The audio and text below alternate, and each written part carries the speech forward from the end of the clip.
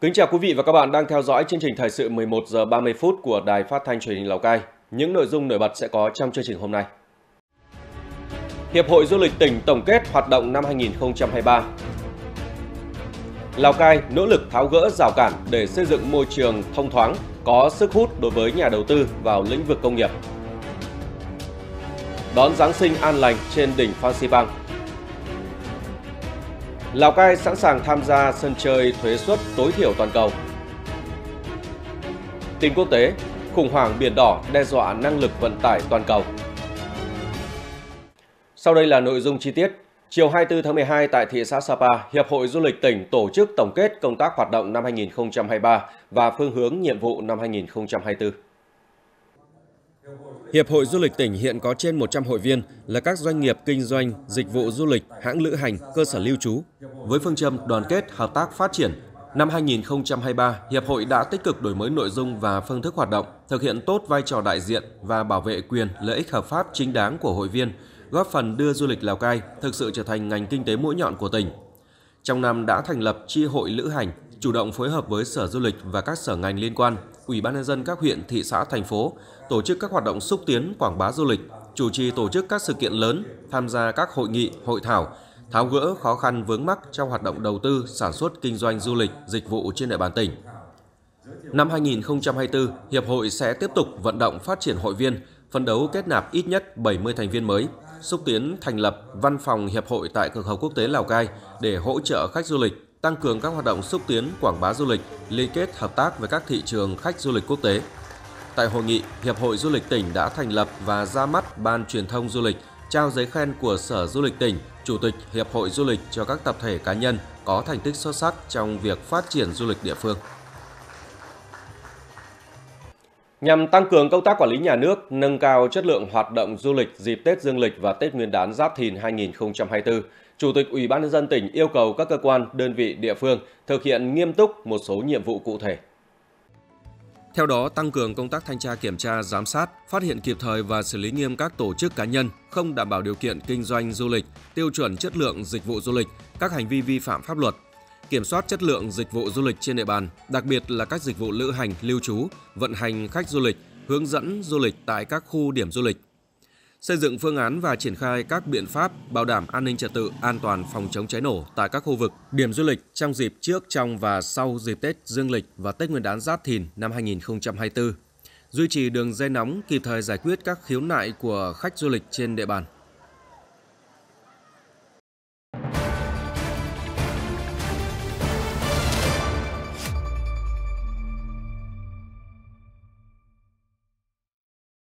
Thưa quý vị và các bạn, quy hoạch, hạ tầng, mặt bằng và cơ chế chính sách đặc thù đó là những tiêu chí quan trọng mà các doanh nghiệp quan tâm trước khi đầu tư tại một địa phương. Xác định rõ điều đó, tỉnh Lào Cai đang nỗ lực tháo gỡ những rào cản để xây dựng môi trường thông thoáng, có sức hút đối với nhà đầu tư vào lĩnh vực công nghiệp.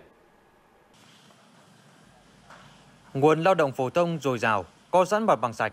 Đó là lý do doanh nghiệp này quyết định lựa chọn Lào Cai để xây dựng nhà máy sản xuất hàng may mặc xuất khẩu. Với tổng vốn đầu tư 99 tỷ đồng, quy mô mỗi năm sản xuất 2 triệu sản phẩm may mặc, mũ, giày dép và hơn 500.000 sản phẩm hàng thủ công mỹ nghệ. Dự án đã được Ban Quản lý Khu Kinh tế tỉnh chấp thuận chủ trương đầu tư tại khu công nghiệp Đông Phố mới.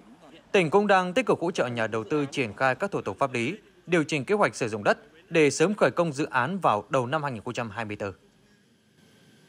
Thì từ cái thời điểm mà chúng tôi đề xuất dự án, sau khi lấy ý kiến các sở ban ngành và à, Ủy ban tỉnh, Ban Quản lý khu kinh tế đã chấp thuận chủ trương đầu tư dự án với thời gian rất ngắn và thể hiện ở những con số biết nói là thời gian mà tỉnh cấp chủ trương đầu tư chỉ có 28 ngày.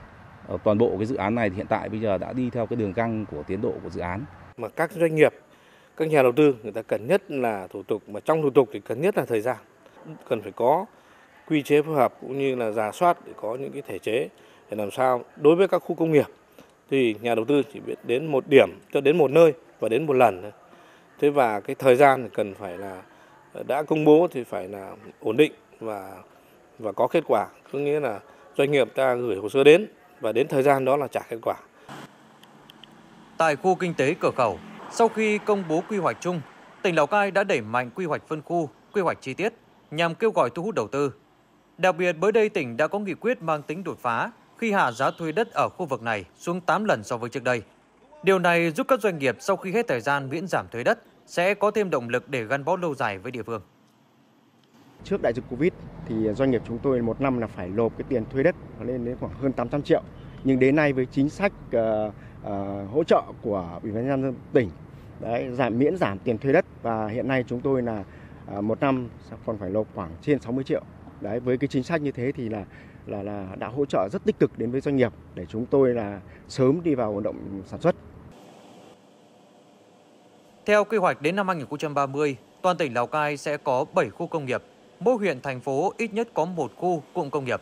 Để thu hút đầu tư cùng với hoàn thiện quy hoạch, Lào Cai đang nỗ lực hoàn thiện hạ tầng giao thông, mặt bằng, ưu đãi về đất đai và xây dựng những cơ chế chính sách đặc thù.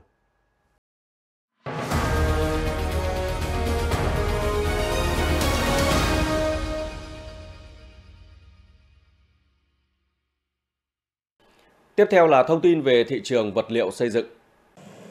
Hiện trên thị trường thành phố Lào Cai có nhiều loại gạch xây dựng, nhiều nhất vẫn là các loại gạch tuy nen với giá từ 700 đồng đến 1.100 đồng một viên tùy vào quy chuẩn kỹ thuật gạch. Xi măng là thành phần quan trọng nhất của bê tông, quyết định trực tiếp đến chất lượng của bê tông và độ bền của công trình. Do đó, việc lựa chọn được loại xi măng phù hợp có ý nghĩa đặc biệt quan trọng với các công trình xây dựng. Giá các loại xi măng trên thị trường hiện đang dao động từ 990.000 đồng đến 1 triệu 230.000 đồng một tấn, tùy vào thương hiệu chất lượng. Đối với các loại giá thép xây dựng, giá bán dao động từ 13.000 đồng đến 15.000 đồng một kg, tùy vào chất lượng thép.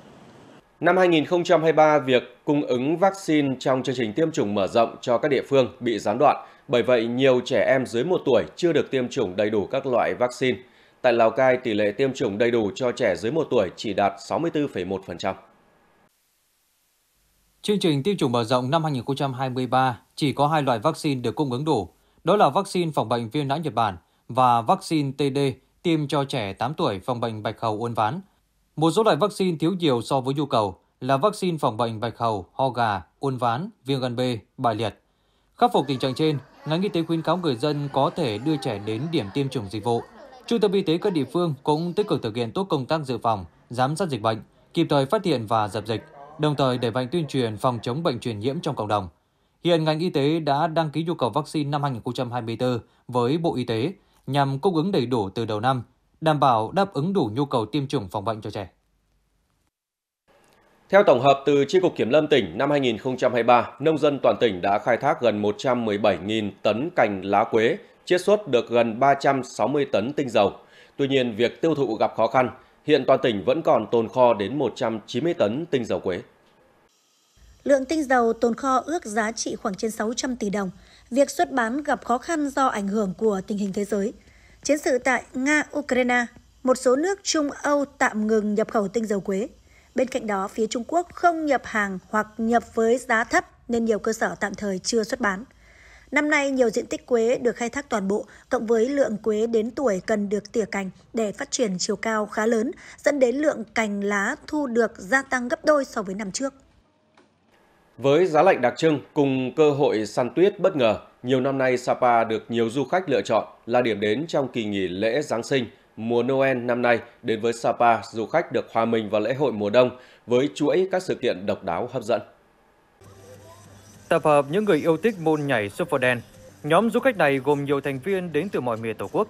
Dịp nghỉ lễ năm nay, các thành viên trong nhóm đã có trải nghiệm tuyệt vời khi được biểu diễn những bài nhảy mừng Giáng sinh, chào năm mới giữa khung cảnh biển mây bồng bềnh nơi nóc nhà Độc Dương.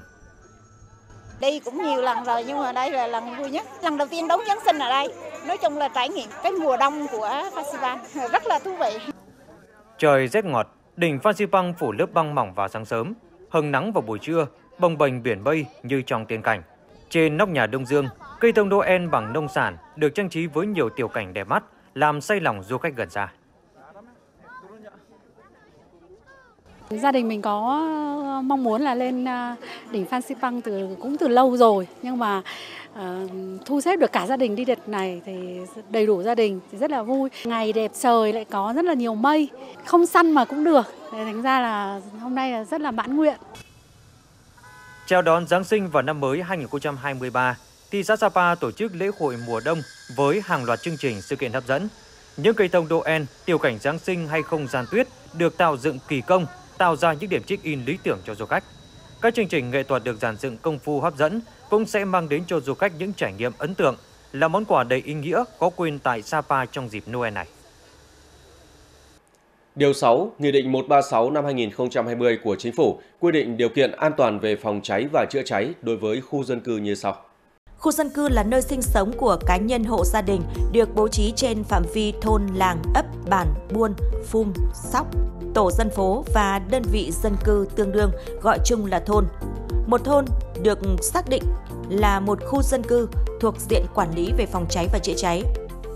Khu dân cư phải đảm bảo các điều kiện an toàn về phòng cháy và chữa cháy sau đây.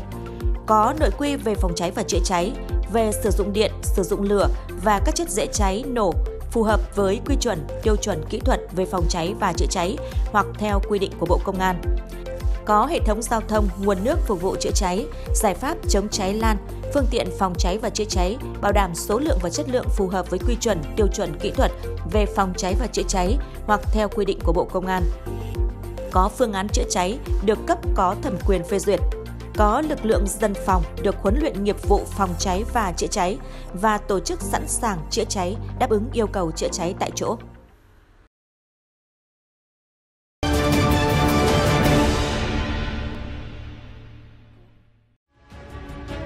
Tiếp theo chương trình, Ngân hàng Nhà nước yêu cầu đẩy mạnh cho vay phục vụ tiêu dùng. Kỷ lục hàng nghìn ông già Noel chạy từ thiện. Ngân hàng Nhà nước Việt Nam vừa có văn bản về việc đẩy mạnh triển khai giải pháp ứng dụng dữ liệu từ cơ sở dữ liệu quốc gia về dân cư đối với các hoạt động cho vay phục vụ đời sống tiêu dùng theo chỉ đạo của Thủ tướng Chính phủ. Cụ thể, Ngân hàng Nhà nước yêu cầu các tổ chức tín dụng chủ động cân đối nguồn vốn, đẩy mạnh chương trình sản phẩm tín dụng phù hợp với nhu cầu của khách hàng, đặc biệt là nhu cầu vay vốn chính đáng phục vụ đời sống tiêu dùng của người dân, tăng cường chuyển đổi số, đơn giản hóa thủ tục nội bộ để tạo thuận lợi tối đa cho khách hàng vay vốn, triển khai ngay các giải pháp ứng dụng dữ liệu từ cơ sở dữ liệu quốc gia về dân cư trong hoạt động cho vay, phục vụ nhu cầu đời sống tiêu dùng của người dân, đảm bảo hoạt động cho vay an toàn, hiệu quả. Theo Bộ Xây dựng, trong năm 2023, các địa phương trên cả nước đã khởi công được 10 dự án nhà ở xã hội, nhà ở cho công nhân, khu công nghiệp với tổng số khoảng trên 19.800 căn. Cùng với đó có 24 dự án nhà ở xã hội, nhà ở cho công nhân, cải tạo chung cư cũ đủ điều kiện vay vốn với quy mô trên 20.000 căn hộ, tổng mức đầu tư trên 19.000 tỷ đồng. Nhu cầu vay vốn theo đề xuất của các địa phương khoảng 7.500 tỷ đồng. Theo báo cáo của các địa phương, giai đoạn 2021-2025, đến nay cả nước đã có 475 dự án nhà ở xã hội dành cho đối tượng thu nhập thấp và công nhân khu công nghiệp với quy mô 432.600 căn đã hoàn thành và triển khai đầu tư xây dựng. Chưa đến một tuần nữa, Việt Nam sẽ chính thức tham gia sân chơi thuế suất tối thiểu toàn cầu. Bên cạnh những cơ hội có được như tăng thu ngân sách, tăng cường hội nhập quốc tế, thì Việt Nam có thể phải đối mặt với việc kém hấp dẫn hơn với các nhà đầu tư FDI. Do vậy, cần có những chính sách hỗ trợ và khuyến khích doanh nghiệp đầu tư mới để tiếp tục hấp dẫn dòng vốn ngoại. Nếu áp thuế tối thiểu toàn cầu, ưu đãi của doanh nghiệp này sẽ thấp hơn 5% so với cam kết trước đó khi doanh nghiệp đầu tư vào Việt Nam. Doanh nghiệp mong muốn sẽ có hỗ trợ để tiếp tục đảm bảo điều kiện sản xuất kinh doanh tại Việt Nam. Chúng tôi xin đề xuất bổ sung thêm đối tượng hỗ trợ của dự thảo theo quy định tại luật đầu tư, luật thuế thu nhập doanh nghiệp, hài hòa lợi ích giữa các nhà đầu tư và nhà nước. Nhiều doanh nghiệp có thể thụ hưởng được từ chính sách hỗ trợ này, đồng thời vẫn phù hợp với việc chọn lọc đối tượng theo hướng dẫn của OECD. Theo Bộ Tài chính, hiện có nhiều nhà đầu tư nước ngoài đang được hưởng thuế suất ưu đãi đặc biệt dưới 15%. Nếu áp thuế suất tối thiểu toàn cầu, sẽ có nhiều doanh nghiệp FDI và một số doanh nghiệp Việt Nam đầu tư ra nước ngoài chịu mức thuế suất 15% theo thông lệ quốc tế. Nghị quyết này thì để là thực hiện cái quyền đánh thuế à, tại nước nơi phát sinh thu nhập.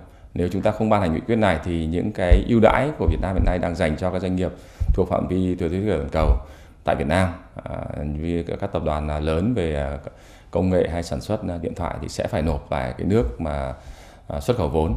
Do đó chúng ta phải ban hành ngay cái chính sách này để thực hiện cái quyền thu của nơi phát sinh các khoản đầu tư hiện nay. Khi tham gia sân chơi thuế tối thiểu toàn cầu, ngân sách sẽ tăng thu. Tuy nhiên, các doanh nghiệp cũng không được hưởng ưu đãi như hiện nay. Vì thế, cần có những chính sách thuế thay thế phù hợp để dòng vốn này tiếp tục chảy mạnh hơn nữa vào Việt Nam. Chúng ta có thể hỗ trợ cho họ từ 10 đến 15%, thậm chí là 20% trên tổng vốn đầu tư của các nhà đầu tư chiến lược để nhà đầu tư uh, có thể đầu tư vào hạ tầng, có thể nhà kho, có thể nhà xưởng hoặc là những cái hỗ trợ về nhân lực và các chi phí khác. Ờ, và có như vậy thì chúng ta sẽ có thêm một cái điểm cạnh tranh nữa so với ờ, các quốc gia khác người ta đang triển khai.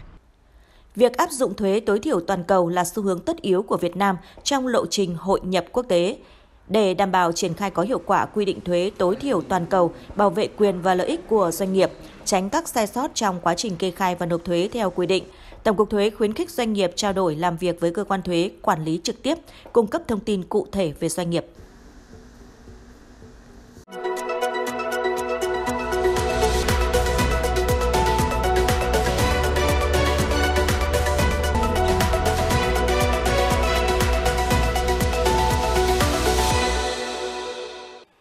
Tin thế giới, tại một thành phố của Tây Ban Nha, hàng nghìn người đã hóa trang thành ông già Noel để tham gia một cuộc chạy đua từ thiện truyền thống nhằm quyên góp tiền ủng hộ cho Hội chữ thập đỏ. Khi hiệu lệnh bắt đầu, hàng nghìn người đã ùa vào trạng đua náo nhiệt chưa từng thấy này với tinh thần bừng bừng khí thế. Không chỉ người trưởng thành mà cả các em nhỏ cũng tham gia đường đua dài 5,3 km trong sự hào hứng. Đến gần vạch đích, bầu không khí vui tươi vẫn không hề giảm nhiệt với tiếng hò reo sung sướng của rất nhiều người khi đã có chiến thắng của riêng mình, đó là không bỏ cuộc. Nhà tổ chức cho biết đây là một trong những cuộc chạy đua theo chủ đề ông già Noel quy mô lớn nhất trên thế giới. Theo các chuyên gia kinh tế, việc gần đây có một số tàu chở hàng bị lực lượng Houthi ở Yemen tấn công khi đi trên Biển Đỏ sẽ làm gián đoạn các hoạt động vận tải toàn cầu với mức giảm lên tới 20%. Ít nhất đã có 121 tàu container phải chuyển sang tuyến đường dài hơn là cung đường chạy qua mũi Hảo Vọng ở Nam châu Phi để tránh kênh đảo Suez và Biển Đỏ. Các tàu container hiện chiếm 30% tổng lượng vận chuyển hàng hóa toàn cầu với tổng giá trị lên đến 1.000 tỷ đô la Mỹ mỗi năm. Các chuyên gia nhận định điều này có thể đẩy chi phí vận chuyển trên tuyến đường nối trục Á-Âu tăng khoảng 15%, chưa kể tiền tăng chi phí bảo hiểm. Bên cạnh đó, thời gian vận chuyển kéo dài hơn cũng làm chậm thời gian giao hàng, đồng thời làm tăng 47% giá các mặt hàng đồ chơi, 40% giá thiết bị gia dụng và 40% giá các mặt hàng may mặc. Hải quân Iran đã tiếp nhận tên lửa dẫn đường mới với tầm hoạt động lên tới 1.000 km. Động thái diễn ra trong bối cảnh căng thẳng ở khu vực Biển Đỏ đang gia tăng sau những vụ tấn công của Hamas nhằm vào các tàu đi qua đây. Người đứng đầu Hải quân Iran cho biết nước này đã tiếp nhận tên lửa dẫn đường Tala với tầm hoạt động 1.000 km. Đây là loại tên lửa thông minh có thể thay đổi mục tiêu dù đang thực hiện nhiệm vụ. Bên cạnh đó, Iran cũng tiếp nhận các trực thăng trinh sát, máy bay không người lái mới, tất cả đều do Iran tự sản xuất. Bất chấp việc bị phương Tây áp đặt các lệnh trừng phạt, ngành công nghiệp quốc phòng của Iran vẫn được xem là tiên tiến, trong đó các tên lửa và máy bay không người lái là những yếu tố quan trọng của nước này.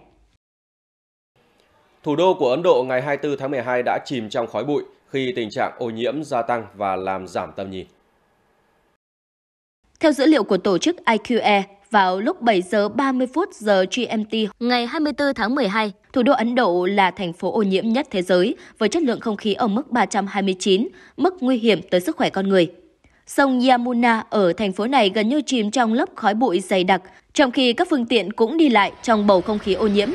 Chất lượng không khí ở thủ đô của Ấn Độ suy giảm vào mỗi mùa đông khi các khối khí lạnh lưu giữ khí thải từ phương tiện, các ngành công nghiệp, bụi xây dựng và rác thải nông nghiệp khiến chúng không thể thoát ra và gây ra tình trạng ô nhiễm không khí.